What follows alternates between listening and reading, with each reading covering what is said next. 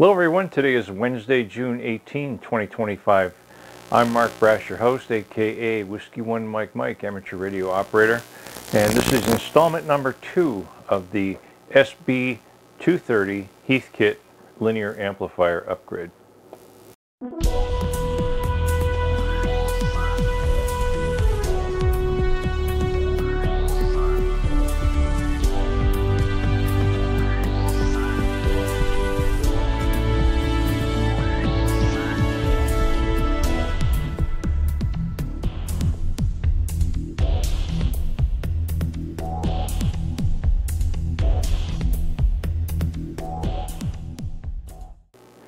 So I received a couple of things today. Uh, in the mail came these two copper blocks that I ordered for uh, the, uh, the GI7Bs to conduct the heat to the heatsink. And I did end up going to my buddy's house this morning to pick up a couple of big kahunas. uh, the GI7B new in the box power triode with heatsink. These are pristine and uh, he, uh, he didn't want a whole lot of money for them. Couldn't say no.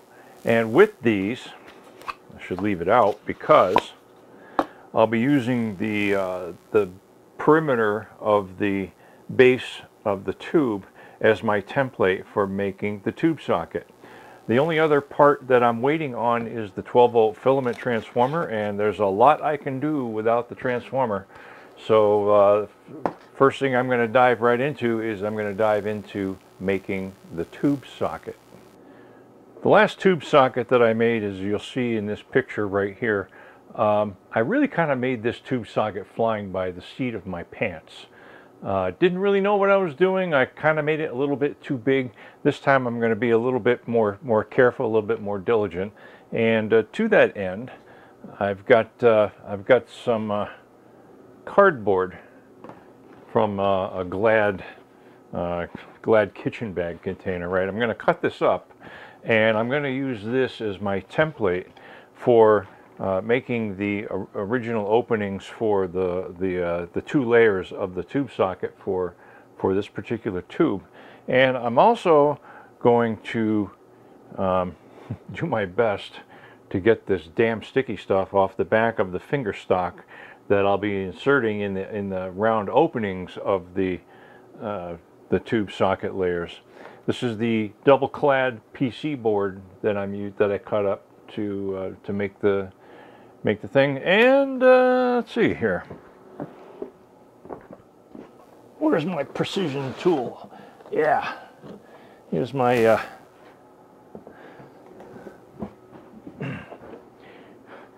my precision hole cutter. it's a, a uh, multi-diameter hole saw and it cuts a clean enough hole, undersized, that I can file it out to the correct size after, after I'm done making the hole. So that's the one that I need. These are the ones that I don't need.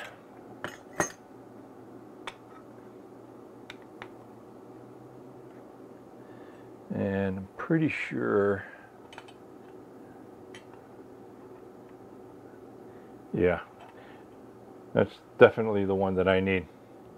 So uh, we'll start with the cardboard, fit it into place inside the inside the cabinet of the SB230, and then I'll cut out the, uh, the, the, squares from the copper and start uh, drilling them out and uh, putting them together. What I'm going to do to get the adhesive off, I'm going to take the take the uh, paper backing off of this and stick it in a container with some acetone. I've been uh, looking around the workshop for uh, different uh, different kinds of plastic that would stand up to acetone.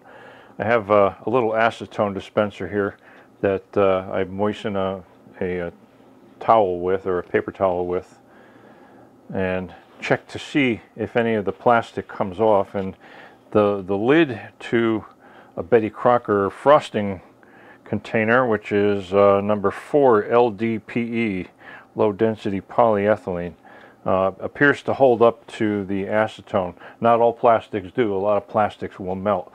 So I'm going to take and put the finger stock in here, pour some acetone and just let it soak so that I can hopefully get clean the uh, clean this adhesive off the back of it very easily unlike last time. Uh, and I have to be careful because if I get acetone on this anti-static mat here, this does not stand up well to acetone and it eats it real quick. So I have to do it over on the other bench. So in these next two photos you can see I have the uh, finger stock soaking in acetone and then I placed a piece of PC board on top of it to hopefully keep the acetone from venting off because it evaporates very quickly. We'll see how that goes. So you can see I'm off to a very good start. There's there's not much gap here. And uh, I forget how many thousandths of an inch I need between the edge of the edge of the um, the grid and the opening of the hole. But it's like uh, I think 20 25 thousandths of an inch. Um, so yeah this is very close. And it doesn't require a whole lot of filing to uh, get the final final dimension out of that. At this point no. I'm going to go double check my uh, finger stock to see if the the glue is coming off. I'll start taking some measurements off of that. So the good news is the idea worked. The bad news is when I attempted to lift the PC board off of the cover, uh, vacuum took it up with it and it spilled all over my bench and everything down below my bench. Thankfully nothing was too sensitive to the acetone. No plastics got damaged that I know of. So moving forward, so here's my finger stock all nice and clean. And the next thing I want to do is calculate exactly what size diameter hole I want this finger stock going into so that I get maybe 10 to 15 thousandths of an inch worth of compression on the fingers of the finger stock when I insert the tube that would create the, uh, the, the pressure fit into the tube socket. So starting out with the diameter of the grid, okay? we have one point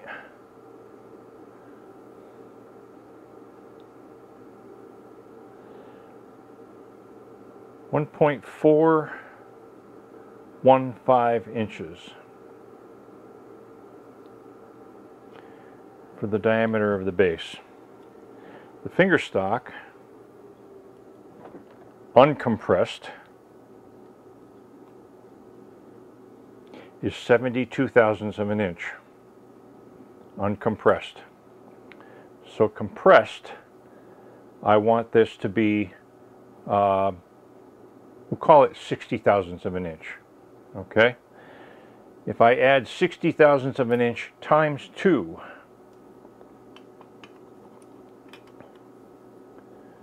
to 1.415, so I need to add 120 thousandths to 1.415. And that required very little filing of this opening. This opening is 1.52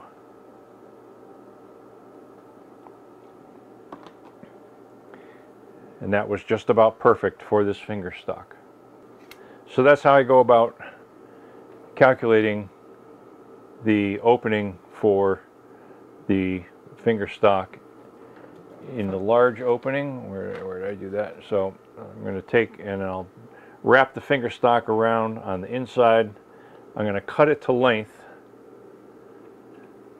and then solder it to an opening inside one of these PC boards. The question now becomes how big of a square do I want to make for this tube socket on top of the on top of the chassis. My last one, I have a I have a mark right here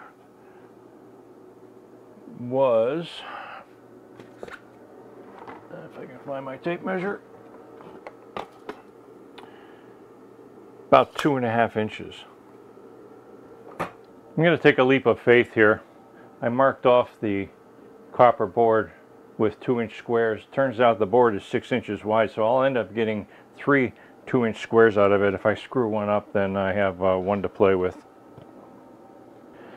All right, so on the drill press, using a drill press vise, I managed to successfully drill out the first two inch square mounting plate.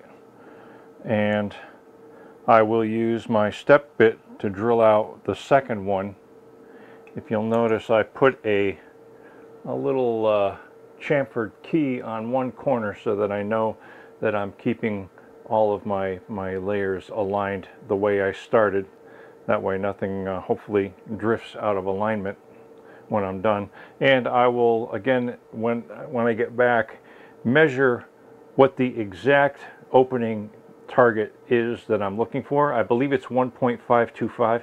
I'll double check that and then uh, we'll, uh, we'll uh, maybe solder up some finger stock.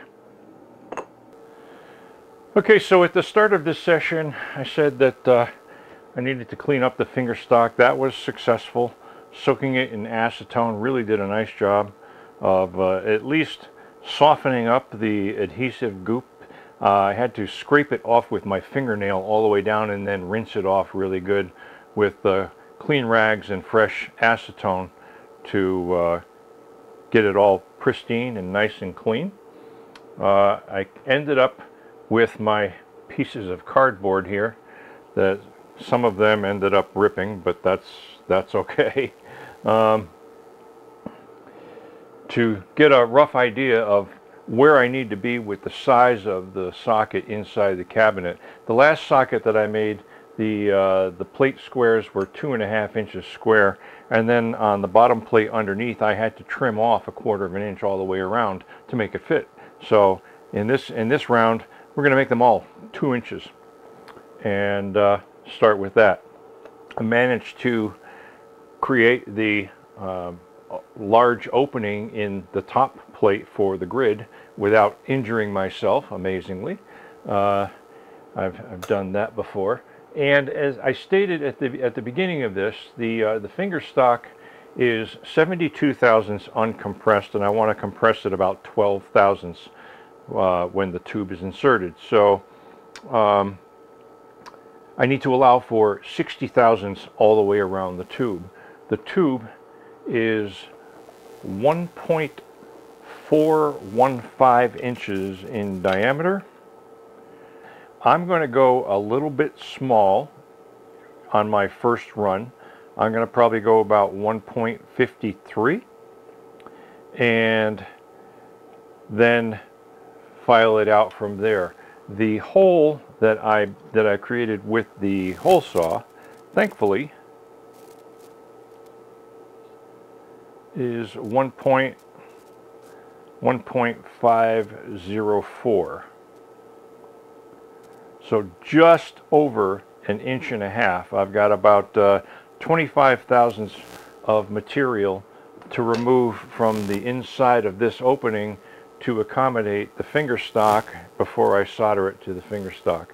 To determine how much finger stock I need for the grid, I just take it and wrap it loosely around the grid like that and I'll cut it off at the at the correct length and then use that inside the opening. Um, I don't really want to start that right now. I have to wrap it up today. I won't be back for a few days. In fact, I won't be back until next week. Uh, today is Wednesday. Tomorrow, Thursday and Friday, uh, I am volunteering at the Travelers Championship for two 12-hour shifts. Um, and for that, I get uh, five guest passes and five uh, five entry passes for myself and food vouchers and and trinkets and all kinds of good stuff. So it's a it's a really good deal, and uh, I'm going to have a whole lot of fun. I'm going to volunteer the first two days of the tournament, and I certainly will attend the last two days of the of the tournament. I think it's going to be a good one this year. That's all for now. Thanks everyone for watching. As always, please rate, share, comment, and subscribe to my videos. And peace, everyone.